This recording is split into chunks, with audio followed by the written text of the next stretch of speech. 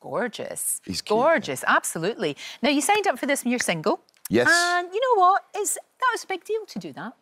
It was. You know, I've never done anything like this before. I've always felt a little bit anxious, I guess, about going out on the in front of media and stuff uh, with a partner. I've always just shied away from that because I'm quite private. But I got approached um, and asked to do this for Stand Up to Cancer, which I thought was a great.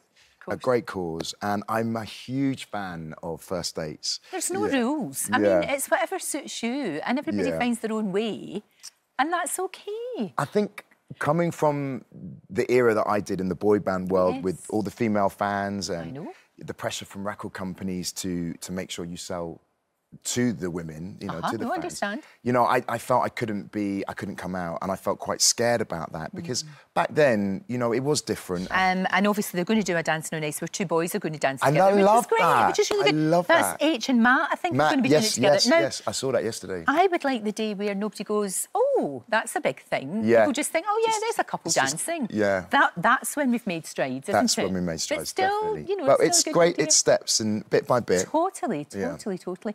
So life is good.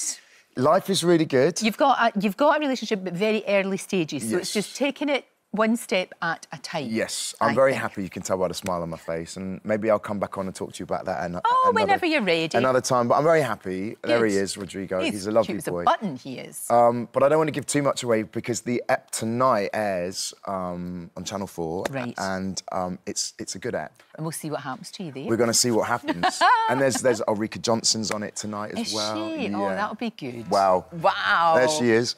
Uh, Gorgeous. Gorgeous. And um, I finish uh, in the end of October, beginning of November in Edinburgh in Right. the Playhouse. So Oh, we're really excited that we're going to be finishing in Edinburgh in such a wonderful theatre. Of course. So I'm excited about that. Ah, And so lots going on. And of course, I've got to ask you about the Blue Guys. How are they all doing? Because I know you, you're brothers, you know? we are. And what's really lovely about Blue, the fact that we've been together nearly 20 years and we are always always been very the best of friends, very very close.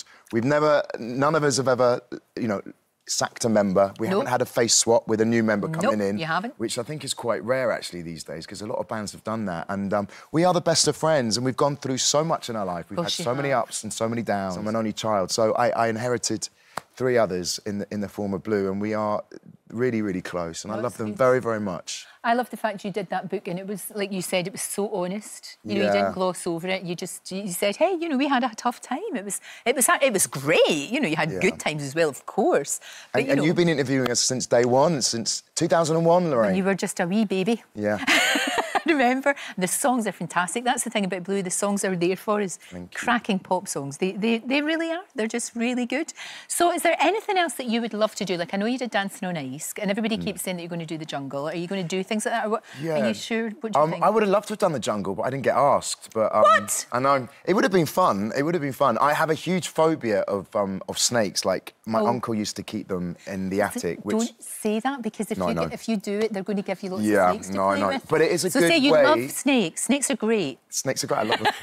But it is a good Otherwise- way to get over over phobias, doing Very stuff like true, that, putting yourself in situations that you wouldn't normally do. absolutely. And um, yeah, but no, I'm not doing it. Um, I keep getting all these people asking me, "You doing the jungle?" I'm like, "No." You should, you should, you should. How's your lovely girl? I mean, she must be a teenager now. My daughter's 14. She is not. She's. I know it's it's crazy how time Oh, she's beautiful. flies. Thank you. She is, and uh, she is with me and Alex. And you're Burke. greatest supporter, I would say. She is. She's she's very good at her ballet, and I'm very proud of her because she's been so focused and dedicated. As you know, I think I came on your show Yes. um, several years ago, and we found out that day she just got a place at the Royal Ballet School. Wow. So we've been very very happy. Good.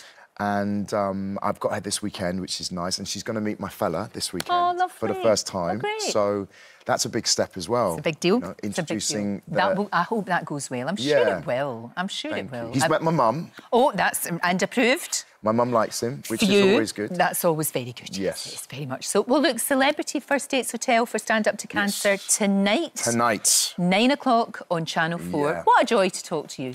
I love you. Thank you. Well, I love you right back.